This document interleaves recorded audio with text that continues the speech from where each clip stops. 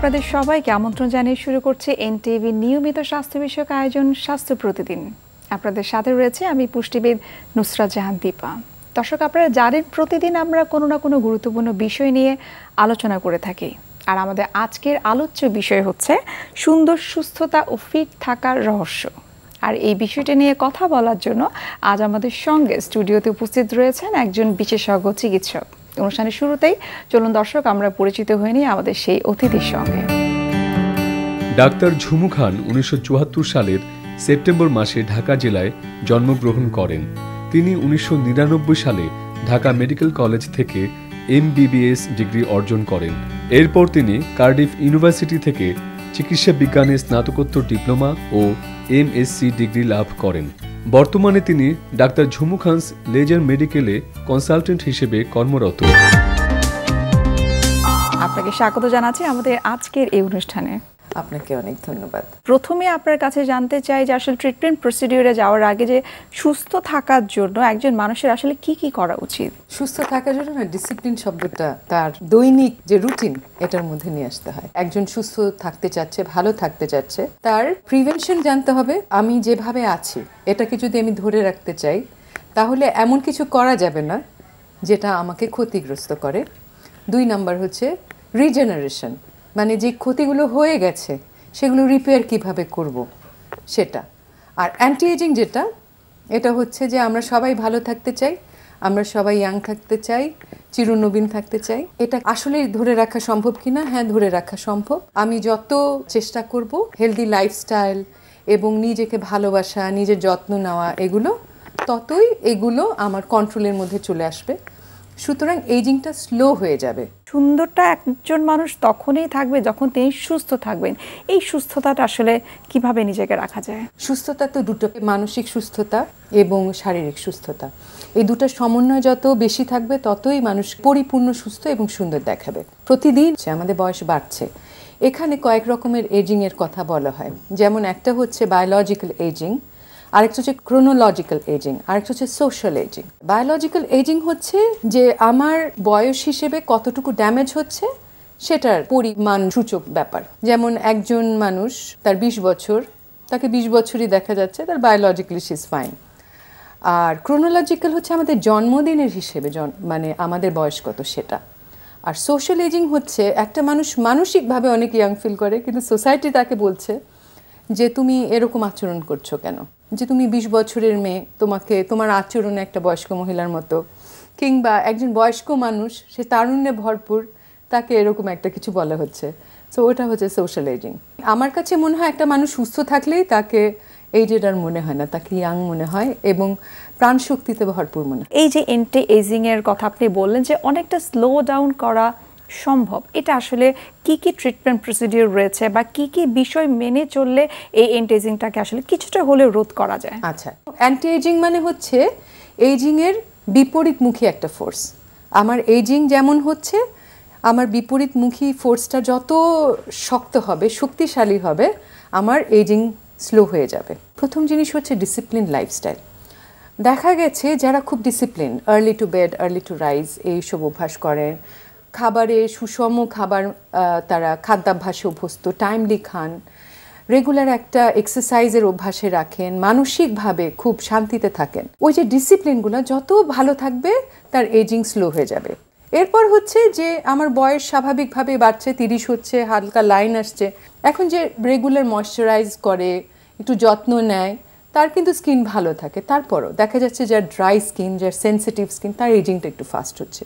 যে অনেক স্ট্রেস যে সব কিছু নিয়ে সারাক্ষণ দুশ্চিন্তা করে, তার এজিংটা ফাস্ট হয়ে যাচ্ছে। তার মানে এমন কিছু একটা করা উচিত, তার এজিংটা স্লো হয়ে যায়। সো আমরা তখন অনেক অ্যাস্থেটিক ট্রিটমেন্ট পাশাপাশি করি। যেমন আমরা লেজার করি, আমরা রেডিও ফ্রিকোয়েন্সি করি, আমরা বোটক্স করি ফিলার্স করি। এগুলো দিয়ে স্কিনের কোয়ালিটিটা অনেক ইম্প্রুভ হয় লাইন স্টাইনস এগুলো অনেক কমে গেল এবং চেহারা সুন্দর দেখাচ্ছে। এবং এই ট্রিটমেন্টগুলোর কিছু ভালো দিক আছে। এটা প্রিভেনশনও করে। বাট সৌন্দর্য শুধু কিন্তু চেহারা নির্ভর নয়, স্বাস্থ্য নির্ভর। শারীরিকভাবে ফিট থাকা খুব জরুরি। সো ওজন নিয়ন্ত্রণ মাসেলকে ভালো রাখা।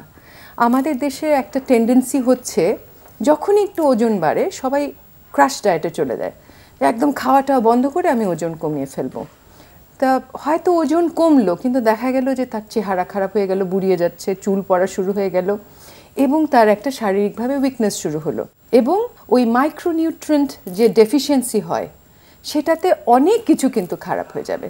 সো যদি এটার একটা নিয়মিত চর্চা থাকে, যে সে একটা রেগুলার এক্সারসাইজ করল, একটা সুনিয়ন্ত্রিত লাইফস্টাইল ফলো করল, তাহলে কিন্তু অনেক কিছু ইমপ্রুভ করে। সো একটা মানুষ যদি এটা কম বয়স থেকে অভ্যাস করে, তাহলে তার হাঁটুর সমস্যা মাসেলের পেইন পিঠে ব্যথা, ঘাড়ে ব্যথা, কোমর ব্যথা, এগুলো কিন্তু সে প্রিভেন্টও করতে পারে। অনেক ক্ষেত্রে এগুলো কিন্তু প্রিভেন্টিভ হিসেবে কাজ করে। সো সবসময় চেষ্টা করা উচিত যে মাসেল বোনস এবং ফ্যাট সবগুলোকে একটা নিয়মের মধ্যে নিয়ে আসা একটা নিয়ন্ত্রণের মধ্যে নিয়ে আসা। এজিংটাকে রোধ করার জন্য আপনারা বিভিন্ন ধরনের ট্রিটমেন্ট প্রসিডিউরে চলে আসেন। সেই ট্রিটমেন্টগুলো আসলে আপনার কাছে জানতে চাই। সার্টিফাইড ফিজিশিয়ান যারা এই কাজগুলো শিখেছে এবং যারা এই কাজগুলো অভিজ্ঞতার সাথে করছে। যেমন একজন যদি বছরে দুবার বোটক্স করার একটা অভ্যাস গড়ে তোলে, তাহলে তার ডিপ লাইন্সগুলো আসে না, তার ডিপ রিঙ্কলগুলো তৈরি হয় না। সো আমরা বেসিক্যালি আপার ফেসে বোটক্সটা বেশি করি, কপালের টান টানটা রাখার জন্য। সো দেখা যায় যে অতিরিক্ত যারা কুচকে কথা বলে, তাদের ওই এক্সপ্রেশনগুলো কিন্তু কমে আসে যে একদম কুচকে, রাগি রাগি চেহারা, ওগুলো খুব শান্ত, সুন্দর চেহারা বাট বেনিফিট হচ্ছে ডিপ লাইনগুলো কিন্তু তৈরি হয় না। সো যে কেউ কিন্তু যে কোনো বয়সে এই ট্রিটমেন্টগুলো করতে পারে, তার প্রয়োজন অনুযায়ী। যেমন যার স্কিন ড্রাই যার অনেক কুচকে কথা বলার অভ্যাস। যেমন মিডিয়াতে যারা কাজ করে, তাকে যত প্রশান্তময় লাগবে, তাকে তত সুন্দর দেখায় ক্যামেরায় সো তারা কিন্তু কম বয়স থেকে এই জিনিসগুলো শুরু করে। এবং ফলস্বরূপ আমরা দেখি যে অনেক বয়স হয়ে যাচ্ছে, আজকাল আর কারও বয়স বাড়ছে না এই জিনিসটা। ফিলার আমরা দিচ্ছি ফিল ইন দ্য গ্যাপের জন্য। যেমন দেখা যায় এই লাইনগুলো যখন ডিপ হয়, তখন চেহারা একটা স্যাড লুক আসে। সো যখন আমরা ফিলার দেই, চেহারা আবার একটা প্রশান্তিময় ব্যাপারগুলো, ওগুলো আসে।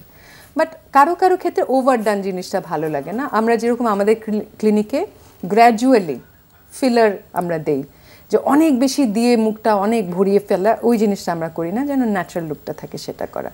আরেকটা হচ্ছে থ্রেড লিফট আমরা করি।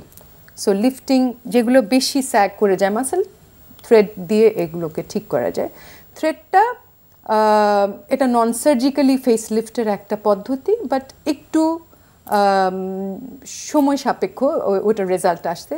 বোটক্সে যেমন পরের দিনই একদম সুন্দর দেখায় থ্রেড লিফটে একটা সময় নেয় সপ্তাহখানেক, তারপর দেখতে ভালো লাগে এবং মাসখানেক পর আরও ভালো লাগে, এরকম।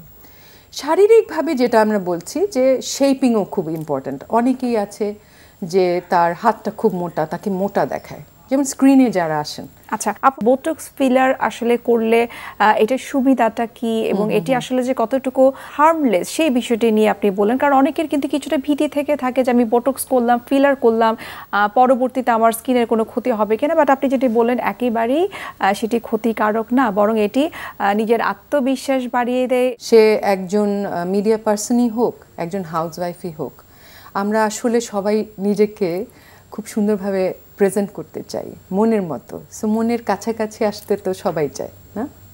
সত্যি তাই। এবং আপনি বলছিলেন যে বডি শেপিং এর কথা সেটি একটু আপনার কাছে বিস্তারিত জানতে চাই।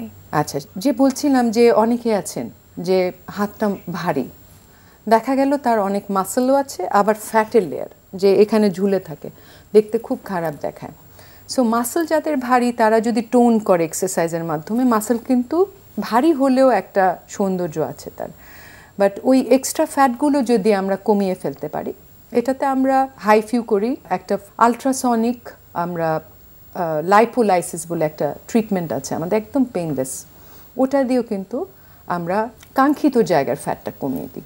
সো কারও দেখা যাচ্ছে ডাবল চিনের প্রবলেম আছে, মুখটা ভারী, হাত ভারী, পেটটা মোটা হয়ে যাচ্ছে, বা লাভ হ্যান্ডেল এই যে কোমরের এই জায়গায় একটা এরকম ফোল্ডের মতো আসছে থাইস ভারী তার জিন্স পরার খুব ইচ্ছা তার শেপটা ভালো আসছে না সেগুলো কমিয়ে ফেলতে চাচ্ছে এইগুলো আমরা করতে পারি। সো আলট্রাসনিক লাইপোলাইসিসের যেটা সুবিধা একদম পেইনলেস কিন্তু সময় লাগে। গ্র্যাজুয়ালি সেশনের মাধ্যমে অল্প অল্প করে আমরা ফ্যাটটা কমাই। আচ্ছা।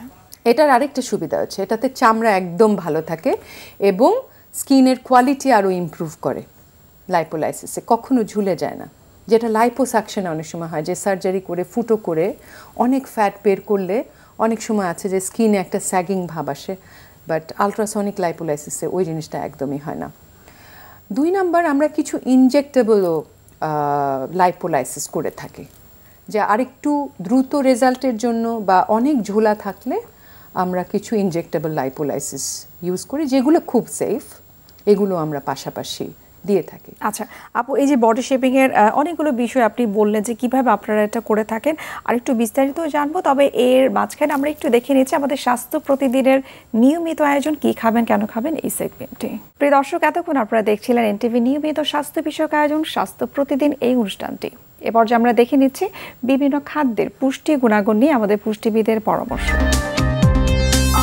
ত্বক সুন্দর রাখতে আমরা কেনা চাই এবং আপনার ত্বক যদি সুন্দর হয় তাহলে কিন্তু দেখা যায় আপনাকে দেখতে আরও অনেক বেশি আকর্ষণীয় এবং আরও অনেক আত্মবিশ্বাসী লাগে। আসলে আপনার স্কিন টোনটা যেরকমই হোক না কেন, যত ডার্ক শেডই হোক না কেন, আপনার ব্রাইট যদি একটা স্কিন থাকে, আপনার স্কিনটা যদি টান টান থাকে, তাহলে কিন্তু দেখা যায় আপনাকে দেখতে অনেক ইয়ং লাগবে।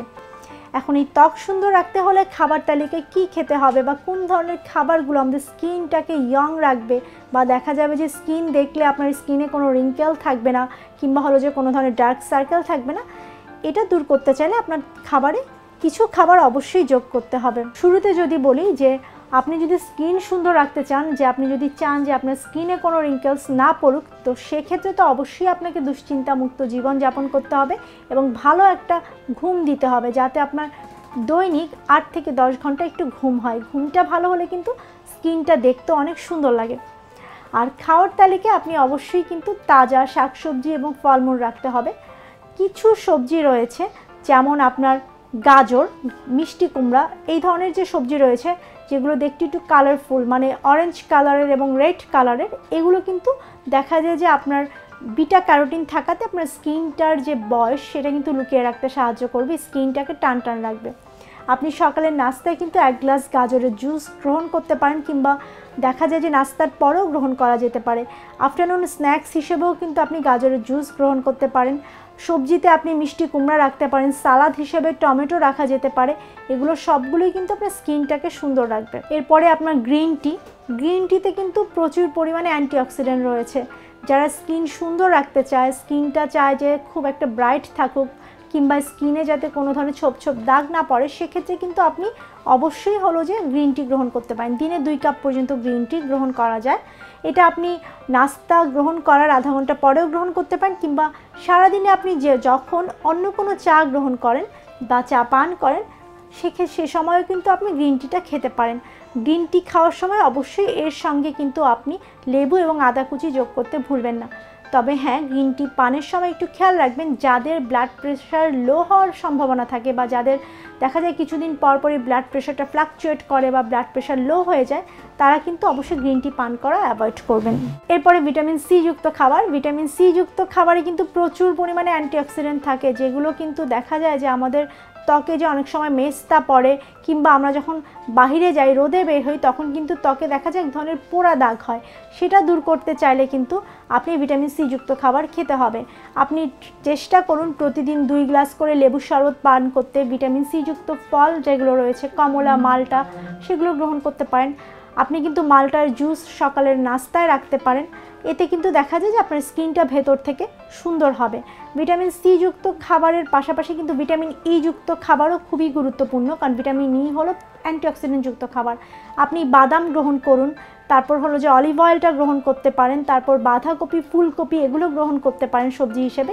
এগুলো সবগুলোতেই ভিটামিন ই রয়েছে। সামুদ্রিক মাছ সপ্তাহে একদিন করে গ্রহণ করতে পারেন। ওমেগা থ্রি রয়েছে। ওমেগা থ্রিও কিন্তু আমাদের স্কিনের জন্য উপকারী। আরেকটা স্কিন সুন্দর করার ছোট একটা টিপস যদি দেয় সেটা হলো আপনি কিন্তু প্রতিদিন রাতে ঘুমাতে যাওয়ার আগে এক গ্লাস দুধ যদি কাঁচা হলুদ ফুটিয়ে নিয়ে সে হলুদ দুধটা দুই থেকে তিন সুতো জাফরান দিয়ে পান করেন, তাহলে কিন্তু সেটা আপনার স্কিনটাকে অনেক ব্রাইট করবে। স্কিন একটা আলাদা গ্লো চলে আসবে। আপু, আপনি অনেকগুলো বিষয় নিয়ে কথা বললেন, কীভাবে নিজেকে আসলে সুস্থ রাখা যায়। সুস্থ থাকলেই তো একজন মানু- মানুষ সুন্দর থাকবে এবং ফিট থাকার জন্য আসলে কি কি বিষয় তার জীবনে পরিবর্তন আনা উচিত? এই যে আপনি বারবার বলছিলেন যে ডিসিপ্লিনটা অনেক বেশি গুরুত্বপূর্ণ ফিজিক্যাল অ্যাক্টিভিটিস তো সার্বিকভাবে আসলে একজন মানুষের ভালো থাকার জন্য কি কি বিষয় তার লাইফ স্টাইলের মধ্যে আসলে নিয়ে আসা উচিত, অন্তর্ভুক্ত করা উচিত বলে আপনার কাছে মনে হয়? লাইফস্টাইলে প্রথম যেটা ইম্পর্ট্যান্ট সেটা হচ্ছে ঘুম। আমরা এখন এই অত্যাধুনিক জীবনযাত্রায় দেখছি যে মানুষ রাতে ঘুমাচ্ছে না। অনেকে অনেক রাত পর্যন্ত জেগে থাকে এবং দিনে ঘুমায় এবং কেউ কেউ আছে এত বেশি ওভারওয়ার্কড তারা এত বেশি কাজ করে, তারা ঘুমের সময় পায় না, তারা হয়তো দু ঘণ্টা, তিন ঘণ্টা ঘুমায়। সো আমরা যত প্রকৃতির এগেনস্টে যাব, প্রকৃতি কিন্তু আমাদের সাথে কিছু এই যে এইজিংয়ের ব্যাপারগুলো, এগুলোকে কিন্তু বাড়িয়ে দিবে। সেটা শুধু আমাদের শারীরিক এজিং না, আমাদের মানসিক এজিংও বাড়িয়ে দেবে। এবং যত এই ডিসিপ্লিনে আসা যাবে, যেমন ছয় থেকে আট ঘণ্টা ঘুমের অভ্যাস, এবং এটা হবে টানা ডিপ ঘুমের অভ্যাস। যারা এই নিয়মগুলো মানবে, তারা কিন্তু অনেক বেশি ইয়াং এবং ফিট থাকবে। তারপর হচ্ছে খাবার, খাবারের ব্যাপারে যত সিম্পল এবং সহজ পাচ্য খাবারে যাওয়া যায়। যে আমরা এটা কিন্তু অনেক সময় ভাবি না। আমাদের বয়সের সাথে সাথে আমাদের অর্গানগুলোও কিন্তু দুর্বল হচ্ছে। সুতরাং আগের মতো হজম শক্তি থাকবে না। সুতরাং তাকে আমরা টর্চার করব কেন? সুতরাং খাবারের অভ্যাসটাও হবে ওরকম। নিয়ন্ত্রিত এবং যেগুলো আমার জন্য পুষ্টিকর হবে, আমি সহজে হজম করতে পারব সেরকম। যেমন একটা মিথ আছে যে আমাদের দেশে অনেকেই ওজন কমানোর জন্য রুটি খায়। এখন যদি তার গ্লুটেন সেন্সিটিভিটি থাকে, রুটি খেয়ে কিন্তু তার ওজন কমবে না। এটা কিন্তু আমরা আবার পরীক্ষার মাধ্যমে বের করতে পারি তার এটা আছে কিনা। সো অনেকেই আছে যে ভাতের সাথে সে খুব আরাম পাচ্ছে গ্লুটেনে তার সমস্যা হচ্ছে। কিছু তো কার্বোহাইড্রেট নিতে হবে কিন্তু প্রোটিনের পরিমাণ বাড়াতে হবে শাকসবজি ফলের পরিমাণ বাড়াতে হবে পানি খাওয়া। খাবার হ্যাঁ এগুলো দরকার। সো এগুলো কিন্তু কোনোভাবে এসকেপ করা যায় না। আমি যদি চাই আমাকে দেখতে ভালো দেখাবে আমি নিয়ম না মেনে আমি কিন্তু ওইরকম ম্যাজিকের মাধ্যমে ভালো থাকতে পারব না। এটার জন্য একটা সুন্দর সুনিয়ন্ত্রিত অভ্যাসের দরকার। আচ্ছা আপনাকে অসংখ্য ধন্যবাদ এত সুন্দর করে এই বিষয়গুলো আমাদেরকে বলার জন্য। যেটা আপনি বলছেন যে আসলে ট্রিটমেন্ট ছাড়াও আগে আসলে নিজেকে ব্যক্তিগতভাবে আসলে সচেতন থাকতে হবে তবেই সার্বিকভাবে সুন্দর থাকা এবং সুস্থ থাকা সম্ভব। আপনাকে আবারও ধন্যবাদ জানাচ্ছি এবং শুভকামনা এনটিভির পক্ষ থেকে। আপনাকে আবারও ধন্যবাদ জানাচ্ছি। প্রিয় দর্শক, এতক্ষণ আপনারা দেখছিলেন এনটিভি নিয়মিত স্বাস্থ্য বিষয়ক আয়োজন, স্বাস্থ্য প্রতিদিন এই অনুষ্ঠানটি। আজ আমরা কথা বলছিলাম সুস্থ, সুন্দর এবং ফিট থাকার রহস্য। প্রিয় দর্শক, আমরা এই পর্যায়ে দেখে নিচ্ছি আমাদের আগামী পর্বে কি থাকছে। মূত্রযন্ত্রের পাথর রোগ হচ্ছে যে আমাদের কিডনি, ইউরেটার, তারপর হচ্ছে মূত্রথলি বা ইউরিনারি ব্লাডার। এই যে ইউরিনারি সিস্টেম, এই মূত্রযন্ত্রের যে কোনো অংশে কিন্তু স্টোন বা পাথর হতে পারে। এটাকে আমরা বলি ইউরোলিথিয়েসিস। এখন কিডনিতে যখন পাথর হয়, তখন আমরা বলি কিডনি স্টোন। বিশ্বের যে কোনো প্রান্ত থেকে যে কোনো সময় এনটিভি জনপ্রিয় অনুষ্ঠান স্বাস্থ্য প্রতিদিন দেখতে আপনারা ভিজিট করতে পারেন আমাদের নিজস্ব পোর্টাল ডট কমে এছাড়াও এনটিভি জনপ্রিয় সব অনুষ্ঠান এবং নিউজ আপডেট পেতে আপনারা ভিজিট করতে পারেন আমাদের ইউটিউব চ্যানেল এবং ভেরিফাইড ফেসবুক পেজে। আজ এখানে শেষ করতে হচ্ছে। দেখা হবে আবারও আপনাদের সঙ্গে। সে পর্যন্ত আপনারা ভালো থাকুন, সুস্থ থাকুন এবং সবসময় এন টিভির সঙ্গেই থাকুন।